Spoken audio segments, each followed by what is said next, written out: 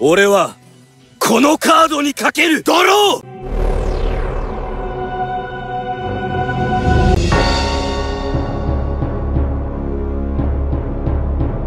Olá pessoal, AJ aqui, sejam bem-vindos a um novo vídeo de Yu-Gi-Oh! Duel Links aqui no canal, mais um dia, não um novo deck, mas um deck que vai ser muito importante, vai ser muito utilizado aí com a implementação da nova banlist que já temos visto aí no último Challenger Series, nas últimas salinhas agora com a, com, com a banlist que é Cyber Dragon. Cyber Dragon vai voltar aí à carga. Cyber Dragon que sempre foi um deck popular, um, a par do Dark Magician tiveram suporte numa main box, um, ainda um tanto ou quanto recente, vá. Dark Magician por si já, já morreu com a banlist, mas Cyber Dragon agora com, com a implementação da banlist, melhor do que nunca, está aí explosivo, imparável, muito god. Estou aqui com o deck, eu não estou na minha conta,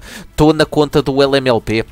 Um grande salve aí ao meu amigo LMLP por partilhar aí a conta. Ele que tem aqui uh, uma carta muito importante que eu só tenho uma e ele tem duas, que é ali o campo, a Fusion Gate, uh, o portal de fusão. Mas vou falar aqui um bocadinho do, do deck, do, do essencial do deck e depois vou-vos mostrar aqui uns replays que ele gravou. Uh, por isso vão já deixando aí o gosto. Inscrevam-se aí no canal para ajudar o canal a crescer e para participarem aí no nosso torneio semanal todas as sextas-feiras, Challenger Series, 22 horas de Portugal, 19 horas do Brasil e partilhem aí o vídeo com os vossos amigos, comunidades de Yu-Gi-Oh! do Links Clans e tudo mais. Mas uh, Cyber Dragon, Cyber Dragon que já teve um nerf, não nesta última lista, já foi aí uh, numa banlist há algum tempo, uh, nomeadamente no que toca aqui à skill Cyber Style. O deck precisa desta skill, porque por Uh, precisamos aqui dos Proto Cyber Dragons para fazer uh, as fusões. E isto basta perdermos pontos de vida, nós podemos jogar o Proto Cyber Dragon. Agora só podemos utilizar se tivermos menos de 2000. Antes bastava tipo, usar um Ciclone, perdemos ali 1000 de vida, já jogávamos um e aí já era muito, muito quebrado. agora só podemos utilizar se tivermos 2000 ou menos. Jogamos até 2 Proto Cyber Dragon um, de fora do deck em modo de ataque. Podemos escolher um ou 2. Um, se os nossos pontos de vida tiver, uh, se tiverem abaixo de 1000, podemos jogar até 3 Proto Cyber Dragons, mas mesmo abaixo de 1000 podemos, se quisermos, só jogar 2 ou até só jogar um, se assim o entendermos. Mas basicamente, quando, quando utilizamos esta skill, o nosso objetivo é fazer então fusão e só podemos atacar com as fusões. Diz aqui, um, só podemos atacar com monstros fusão e invocar especialmente é só monstros de fusão. Por isso, só serve mesmo, mesmo, mesmo para isso. E o que é o nosso objetivo? Nós temos 3 core. Core é a carta principal do deck, porque é ele que faz o deck rodar, é mesmo o core. Uh, seja ir turno 1 e sacar aqui a Cybernetic Overflow. Cybernetic Overflow que nos permite banir monstros Cyber Dragon com níveis diferentes da mão cemitério ou da, do campo. Uh, e isto comba bem com a skill. A skill mete os Proto Cyber Dragon que são nível 3. O Core é nível 2, o Proto Cyber Dragon é nível 3. Aqui temos o Vir que é nível 4 ou mesmo o Cyber Dragon que é nível 5, uh, podemos remover e depois destruímos cartas do oponente igual ao número de monstros uh, que removemos por uh, este efeito. Se, se banirmos um, destruímos uma carta, se banirmos dois, destruímos duas cartas. O mais importante desta carta é o ela não dar alvo. Ela destrói sem dar alvo, o que é muito, muito god e uma das coisas mais importantes a ter um, em conta quando enfrentar Cyber Dragon e uma das razões para Cyber Dragon ser tão forte.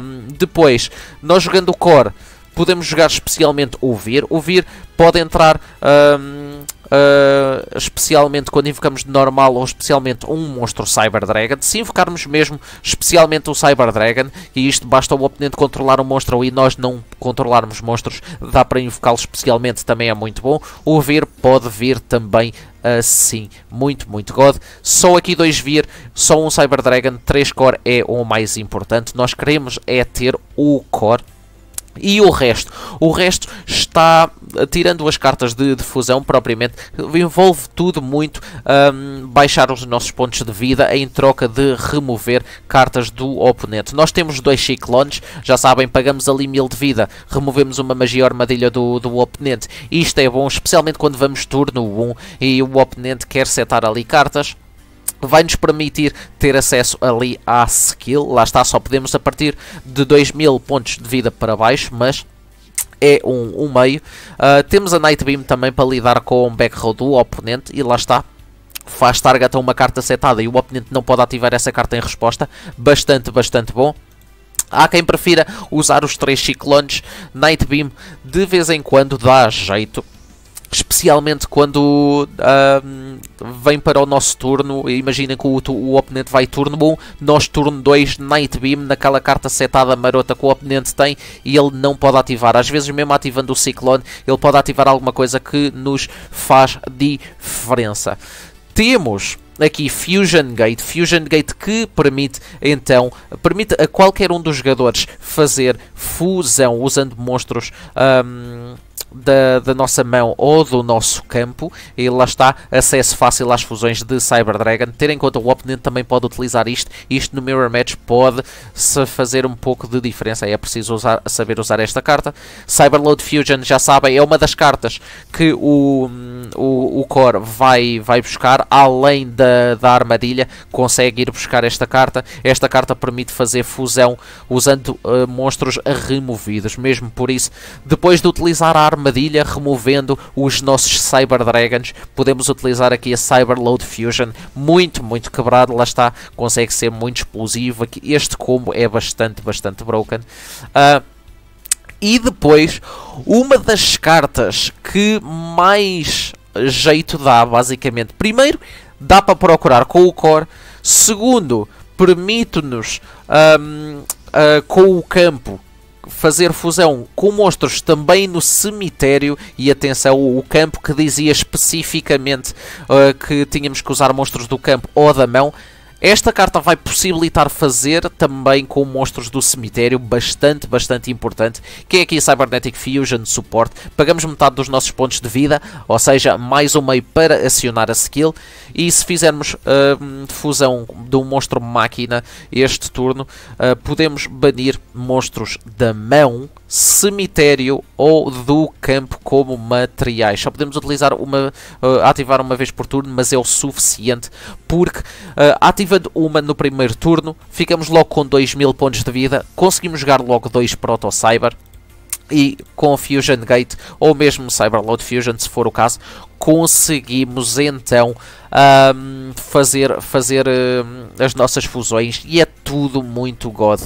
Depois há aqui uma última carta para, para falar e é uma carta que consegue ter uma sinergia absurda com Cyber Dragon, que é aqui Storm. Isto porque Storm obriga-nos a destruir magias e armadilhas que nós controlamos. Um, tantas quanto, quanto possíveis, para destruir o mesmo número de magias e armadilhas que o oponente controla. Isto uh, não quando vamos turno 1, como é óbvio, mas se calhar vamos turno 1, setamos a armadilha, setamos as nossas magias rápidas. Turno 2 o oponente nem faz grande coisa, mas turno 3 nós vamos ativar a Storm nós podemos dar Shane aqui da Cybernetic Overflow. Nós vamos destruir a nossa própria Cybernetic Overflow, mas ativamos a Cybernetic Overflow para destruir cartas, mais cartas do oponente ainda. O benefício é que a Cybernetic Overflow diz aqui, se esta carta no campo for destruída por um efeito, podemos adicionar uma magia ou armadilha Cyber do deck para a mão. Ou seja, se o core já era bom para procurar aqui Cybernetic Fusion Support ou aqui a Cyberload Fusion, a armadilha também o vai fazer. Por isso, é perfeitamente possível se nós turno um core, até vamos buscar a Cybernetic Overflow um, e depois Follow Up Storm. Ela vai buscar a Cyberload Fusion, vai buscar aqui a magia rápida. Atenção, nós podemos ter aqui a Cybernetic Fusion Support, por exemplo, já setada num turno e depois no nosso próximo turno, se dermos a Storm, as nossas magias rápidas pode, podemos ativar ali. Elas vão contar para o efeito da Storm, mas beneficiamos do efeito delas. Isso é tudo muito, muito god. A sinergia deste deck é incrível. Um, Uh, mas especialmente Fusion Gate. Fusion Gate foi a carta que encaixou aqui no deck e realmente consegue dar bastante, bastante poder aqui ao deck. Mas Storm também não fica nada atrás, especialmente com este combo com, arm com, com armadilha. Uh, é demasiado, demasiado God. E uma vez que a maior parte das magias que nós setamos são magias rápidas, podemos ativar a Enchain, depois a Storm. É bastante, bastante God. Em termos de extra deck, não tem nada que saber. São as fusões características de Cyber Dragon, pura e simplesmente. Cyber End Dragon, uh, 4000 de, de ataque dá perfurante, 3 monstros Cyber Dragon, dá jeito, 4000 de ataque para passar por monstrões assim grandes. Chimera Attack, Chimera Attack Over Dragon, especialmente quando estamos ali e fazemos vários combos. Lá está, é tipo um monstro final, final, final. Uh, depois de fazermos todos os nossos combos com, com o Fusion Gate, se já removemos muitos monstros para fazer Rampage, fazer Rampage, fazer Twin, Chimera Over Dragon, depois de utiliza, utilizar uh, todos os monstros banidos lá com a Cyberload Fusion e ele ficar com um grande ataque, ele ganha 800 de ataque por cada monstro utilizado, e, basicamente com os proto, imaginem, Uh, o core, 3 cores, 1, 2, 3, 2 vir, 5, com o Cyber Dragon 6, uh, pelo menos 2 proto, 7, uh, 7, 8, imaginem, no melhor dos casos 8 8 monstros vezes 800 de, de ataque. Já, já estão aí a ver o quão quebrado é um Chimera Attack ficar com, imaginem, mais de 6.000 de ataque, 6.400, 8 vezes 8, exatamente, 64, 6.400, imaginem o quão God não, não é. Uh, depois temos também o Cyber Twin, Cyber Twin Dragon, uh, bastante, bastante bom lá está, não é a primeira opção. O Cyber Twin Dragon está ali ao lado do, do Cyber End como sendo a segunda fusão a ter, a ter, hum, a ter uh, a possibilidade de entrar em campo. Isto porque, ao contrário do Rampage, já vamos falar, só tem 2100 de ataque. Ele tem 2800 de ataque e pode atacar duas vezes. Lá está, o Cyber End tem 4000 e pode dar perfurante. Há várias opções aqui no jogo de Cyber uh, Dragon. Mas o principal é mesmo aqui o Rampage. Basta dois monstros Cyber Dragon, tem 2100 de ataque, mas ele quando entra, ele parte magias e armadilhas uh, no campo igual ao número de materiais que ele usou. Por isso, pelo menos duas ele vai poder partir. Ou seja, há ali muito controle do Cyber Dragon na backrow do oponente. E depois ele pode enviar dois monstros luz máquina para o deck e ganha um ataque extra por cada monstro. Pode atacar até três vezes podem enviar o Vir, podem enviar o Cyber Dragon do deck. É tudo muito, muito God. Não há mais nada a dizer. Vocês vão ver aí nos replays o quão bom uh, este deck é. Foi utilizado aqui pelo, pelo nosso amigo LMLP. Mais uma vez, um grande salve e um grande obrigado por ele ter nos emprestado e demonstrado aqui o deck. Mas é isso aí, pessoal. Não se esqueçam, deixem aí o gosto, inscrevam-se aí no canal Participem no nosso torneio Challenger Series todas as sextas-feiras. Basta estarem inscritos aqui no canal, ajudam-me a mim, eu ajudo-vos a vocês e partilhem aí o vídeo. Fiquem então aí com os replays e eu vejo no próximo vídeo ou live aí no canal. Até lá pessoal, fiquem bem aí. Fui. Tchau.